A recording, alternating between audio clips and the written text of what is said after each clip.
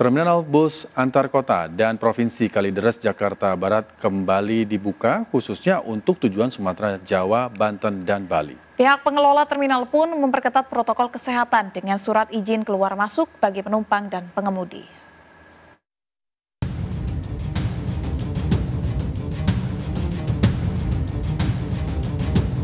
Seorang pengemudi ojek dan penumpang ini diminta memutar balik kendaraan mereka diminta berputar balik karena tidak membawa surat izin keluar masuk atau SIKM di pintu masuk Terminal Bus Kalideres, Jakarta Barat, Sabtu sore. Selain pemeriksaan masker, petugas juga memeriksa suhu tubuh dari awak bus akap. Pemeriksaan dilakukan lantaran Terminal Bus Kalideres sudah kembali beroperasi dengan melayani rute Sumatera, Jawa, Banten, dan Bali.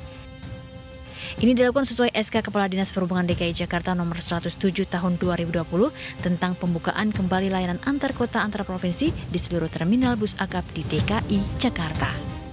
Yang mana layanan akap di DKI Jakarta sudah dioperasikan kembali.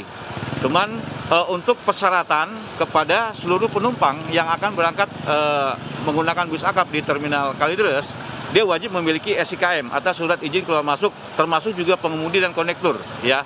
Terus kemudian dia dalam wajib uh, dalam keadaan sehat, mengikuti protokol kesehatan seperti dia dicek suhu tubuhnya, wajib menggunakan masker dan melakukan fisik. Bagi para sopir yang tidak mengindahkan protokol kesehatan, akan diberi sanksi sosial membersihkan sampah di sekitar terminal. Masker bang. Ketinggalan pak tadi saya oh. waktu kesiangan.